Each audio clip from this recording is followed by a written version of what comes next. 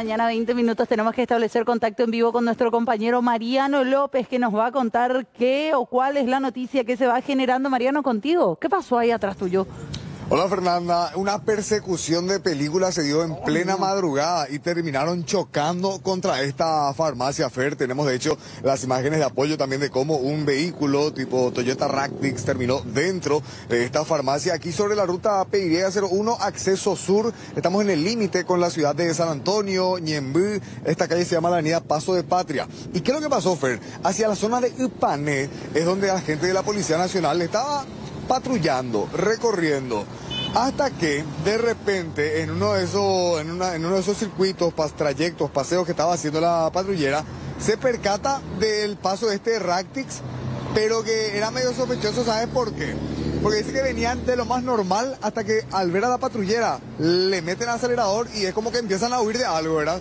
Entonces eso llamó claramente la atención de los agentes de la Policía Nacional, emprendieron la persecución para averiguar quiénes estaban a bordo de este vehículo y efectivamente eran personas que tenían problemas con la justicia, Fernanda.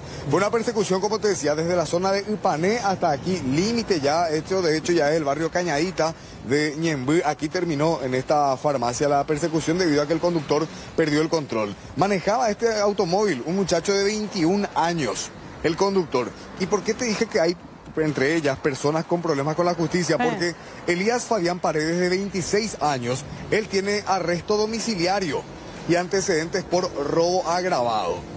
Y además, el otro de los integrantes de este grupo, Fabio Ramón Céspedes, de 22 años, tiene orden de captura pendiente por incumplimiento del deber legal alimentario. Entonces son problemas, como te decía, dos que tienen estas órdenes de captura. Y también fue aprehendido Matías Benítez, de 21 años, el que manejaba este automóvil. Además de las particularidades dentro de este automóvil, Fer, ¿viste la imagen, la fotografía? Sí. Hay algo que llama la atención ahí. ¿Qué pasó? Esos bidones, ¿viste? Ah, sí, bidones, de qué combustible. Tres de los bidones tenían combustible. Otros siete estaban vacíos, pero también aparentemente se usaban para el traslado de combustible. Por lo que aparentemente mm. también estas personas se dedicaban a la venta ilegal de eh, combustible. Voy a pasar por acá a la farmacia estaban, ¿eh? podemos hablar con la gente. Permiso. Vamos a hacer una consultita nomás acá para conocer por los detalles, Porque esta farmacia, Fernanda, estaba cerrada y podrán ver acá la parte del salón de ventas en gran parte no está afectado. La parte frontal es lo que sí tumbó, tumbó estantes y todo lo demás. Hay que consultar nomás para saber. Cajuto está.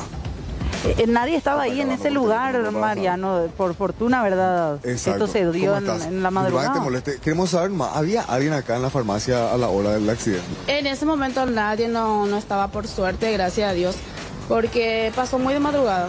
Ah. Más o menos el horario exacto no sé, pero entre la una y media, entre las dos de la madrugada. Ah, ahí. ¿Trabajan hasta qué hora? Nosotros tenemos un horario de las 6 de la mañana hasta las 22 y 30, de lunes a sábado. ¿No había nadie? No había nadie. Hoy fue trabajo de limpieza de La verdad que sí, porque encontramos por todos lados tiradas nuestras cosas, por todos lados, todo lo que sinceramente muchísimos daños tuvimos. Aparte del frente, como que el salón todavía. El salón todavía son, generalmente, o sea que son dos salones. Y esta parte lo que sí perjudicó mucho porque agarró. Por lo distante hizo volar. Todo, rompió muchísimas cosas y todo. Un desastre.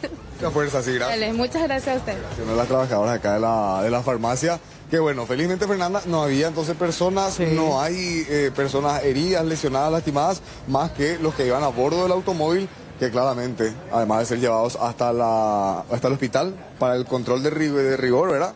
control correspondiente, después se les lleva ya a la comisaría para enfrentar cada uno sus cuentas pendientes. Claro, y llamaba la atención por sobre todo los diversos rubros aparentemente fuera de lo legal a lo cual se dedicaban ellos. Bueno, gracias eh, Mariano, te agradecemos por este contacto. Completita entonces la información de lo que ocurría allí en ese punto. Ahora cambiamos de tema, vamos a hablar de varias cosas y por sobre todo cosas que nos encantan, cosas deliciosas. Chiche, contanos más.